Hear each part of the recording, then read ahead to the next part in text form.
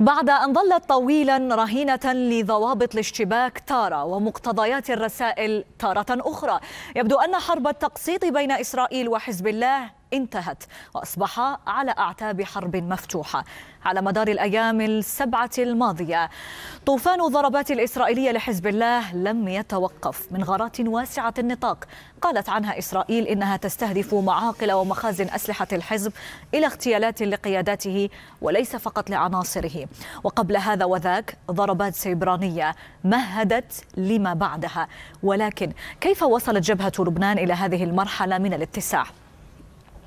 في السادس عشر من سبتمبر الجاري أي قبل حوالي أسبوع أقر الكابينة الإسرائيلي إضافة هدف جديد لأهداف الحرب على غزة وهو تأمين الجبهة الشمالية وضمان عودة سكان الشمال إلى بيوتهم. ورغم الخلاف مع نتنياهو أبلغ وزير الدفاع الإسرائيلي أفغانت نظيره الأمريكي بأن إمكانية التسوية في الشمال تتلاشى في ظل ربط حزب الله نفسه بحماس. كما أبلغ جالنت المبعوث الأمريكي هوكشتاين بأن الطريقة الوحيدة المتبقية لإعادة سكان الشمال إلى ديارهم هي العمل العسكري. لترد الإدارة الأمريكية وتبلغ نتنياهو بأن حربا واسعة في الشمال لن تعيد السكان إلى منازلهم. ليأتي اليوم التالي وفيه نفذت إسرائيل ما عرف بهجمات البيجرز والتي استهدفت عناصر حزب الله مخترقة أجهزة اتصالاتهم في مشهد تكرر في بيروت وفي الضاحية والجنوب.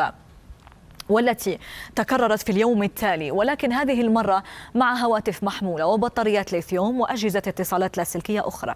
بالتزامن مع نقل الجيش الإسرائيلي الفرقة القتالية 98 من قطاع غزة إلى الحدود الشمالية. وشن غارات على عدة قرى جنوب لبنان. قبل أن يرد حزب الله عبر إطلاق رشقة صواريخ كثيفة على صفد والجليل الأعلى نحو 130 صاروخا في ساعة واحدة. ليأتي الرد الإسرائيلي عبر عملية وصفتها بالدقيقة في الضاحية الجنوبية لبيروت. مستهدفة قادة بالصف الأول لحزب الله خلال اجتماع وعلى رأسهم قائد قوة رضوان إبراهيم عقيل. كما قيل إن قيادات من الحرس الثوري كانوا مدعوين للاجتماع لكنهم لم يحضروا.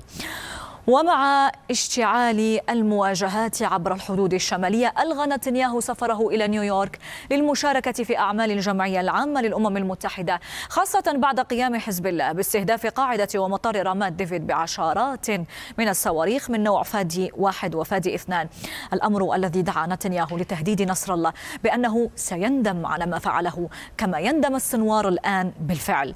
واليوم استيقظ اللبنانيون على ضربات على مخازن أسلحة لحزب الله بين بيوتهم لتجبرهم على النزوح إلى الشمال.